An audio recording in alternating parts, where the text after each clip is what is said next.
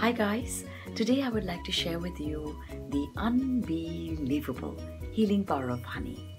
Ancient Ayurvedic texts are full of honey based remedies for a wide variety of ailments, ranging from the simple cough and cold to obesity, anxiety, high blood pressure, high cholesterol.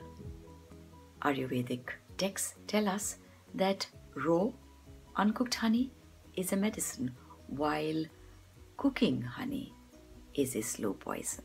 Why? Because honey, in its natural pure form, is full of amino acids, minerals, trace elements, vitamins, vitamin B, and carbohydrates. Heating strips honey of most of its nutritional value, and the honey molecules become a non homogenized glue which sticks to the mucous membranes and clogs the subtle energy channels. So, honey should never be cooked, and nothing should be cooked with honey. While purchasing honey, look for the label raw or unpasteurized. The best would be to buy it from a local beekeeper. So, let's get started with the ailments and see how honey really helps. Are you anxious and overwhelmed? Then, honey to the rescue. Take one glass of orange juice, add to it a pinch of powdered nutmeg and a full teaspoon of honey. Mix well and have this yummy drink twice a day. Are you obese and overweight? Have high blood pressure and high cholesterol? Then take one glass of warm water, add to it a full teaspoon of honey and 10 drops of apple cider vinegar. Drink this on an empty stomach every morning.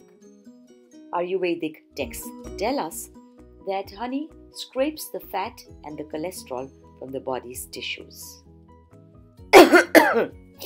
Guys, every time I have a cough and a cold, honey is my go to ingredient. I take a teaspoon of honey and half a teaspoon of powdered cinnamon. Mix it well and have this twice or thrice daily. This hastens my recovery from cough and cold. To soothe and settle indigestion, vomiting, and nausea, take equal quantities of lemon juice and honey, mix well, and have this a little at a time for two times or three times a day. For immediate relief of asthma, take one fourth cup onion juice, 1 teaspoon honey, 1 8 teaspoon of crushed black pepper. Mix this very well and have it. This will alleviate breathlessness and congestion and can be used as a long term remedy for prevention of asthma. To help reduce the craving for cigarettes, chew small pieces of pineapple dipped in honey before smoking. If you have any questions, please post them in the comment section below and I will get back to you. If you found this video helpful, press the like button and share it with your friends. I will be posting new videos soon, so be sure to subscribe to the channel.